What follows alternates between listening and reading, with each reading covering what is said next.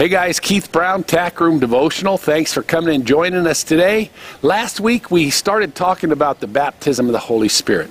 I warned you ahead of time that there's some division in the church uh, about uh, the baptism of the Holy Spirit.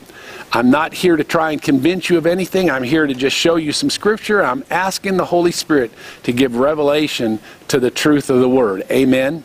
And so we're going to continue this uh, talk this week. Uh, but last week, from Acts chapter 1, verse 8, it tells us that Jesus says, well, Wait now in Jerusalem, and the Holy Spirit will come upon you, and you shall receive power to be my witnesses. Okay?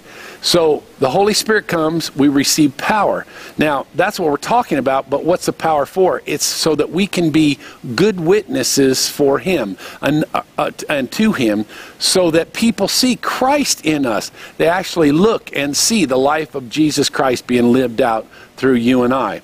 Now, part of um, the power that happens is, is the Holy uh, it's the Holy Spirit and how He reveals and how He communicates with us, the church. It's amazing when you think about it because He's not a person that you and I can walk up and shake hands with, and yet He lives on the inside of us. We can have access to Him every single day, but it's, it's not like I can just talk to Him. Um, face to face. Okay, so spiritually, when we're dealing with the Holy Spirit and, and having communication with Him, it's different. So, how do we communicate? Well, through several different mediums. For instance, the, the Word of God. The Word of God, the Holy Spirit will speak to us in a major way. Um, through dreams and, and uh, visions, the Holy Spirit will speak to us. Through prayer, the Holy Spirit will speak to us. Some people have heard an audible voice.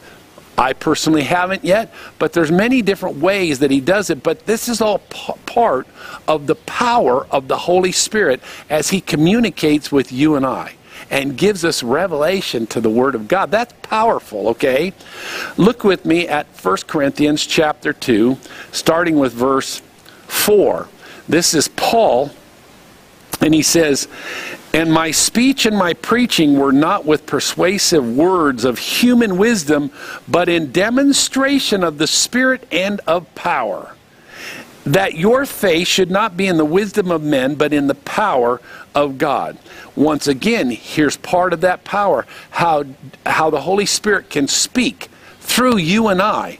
He speaks to you and I, and then speaks through you and I, and that is Paul telling us that. Look what it goes on to say.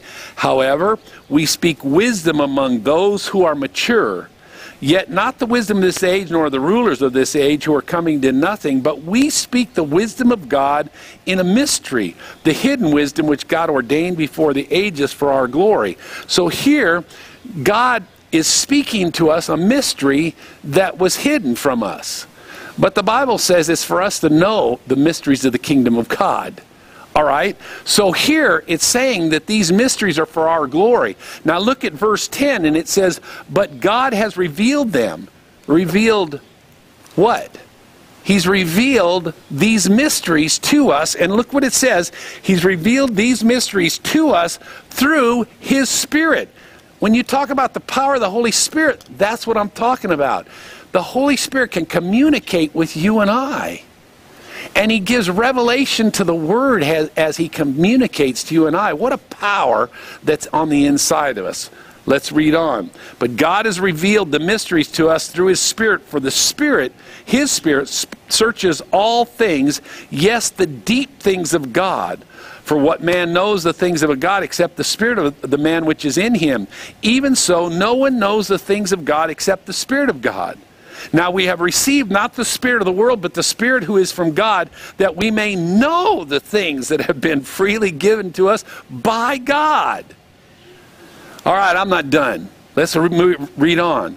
These things we also speak not in words which man's wisdom teaches, but which the Holy Spirit teaches, comparing spiritual things with spiritual. And it says, But the natural man does not discern or does not receive the things of the Spirit of God, for they are foolishness to him, nor can he know them because they are spiritually discerned. In other words, without the Holy Spirit in you and I, communicating with you and I the way he does through his word and, and these other things that I've told you, until we have the Holy Spirit in us, the power of the Holy Spirit so he can communicate with us, we can't figure out these mysteries that are ours, that were laid up for us from the beginning of time uh, for our glory. And yet here the Holy Spirit reveals them to you and I. I want you to know one more scripture.